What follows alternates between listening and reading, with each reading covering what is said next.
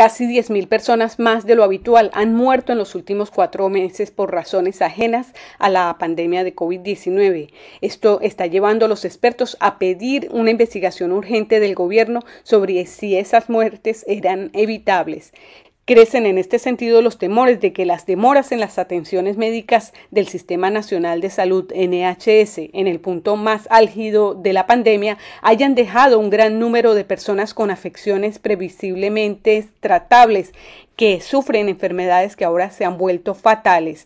Inglaterra y Gales registraron 20.823 muertes más que el promedio de cinco años en las últimas 18 semanas, de las cuales solo 11.531 muertes involucraron COVID-19.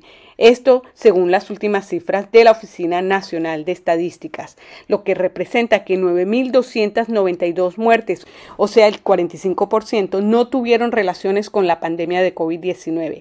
Es necesario comprender con urgencia qué es lo que va mal, según el Centro de Medicina basada en evidencias de la Universidad de Oxford. Si se mira dónde están ocurriendo los excesos, es en condiciones como cardiopatía, isquemia, cirrosis del hígado y diabetes, todas las cuales son potencialmente reversibles según los expertos de la Universidad de Oxford.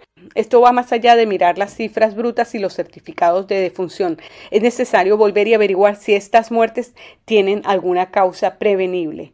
Esto podría ser el resultado de la falta de atención durante la pandemia y lo que sucede después de esto, señalan los expertos de la Universidad de Oxford, que consideran como urgente comprender qué es lo que va mal y realizar una investigación de las causas fundamentales para determinar las acciones que puedan prevenir más muertes innecesarias. Yes.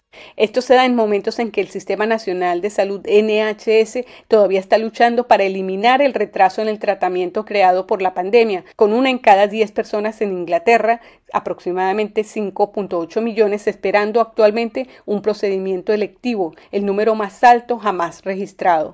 Un informe publicado esta semana por el Royal College of Nursery advirtió que 120 mil personas se han visto obligadas a esperar al menos cuatro horas en los departamentos de accidentes y emergencias en octubre, un aumento del más del 50% con respecto a octubre del 2019.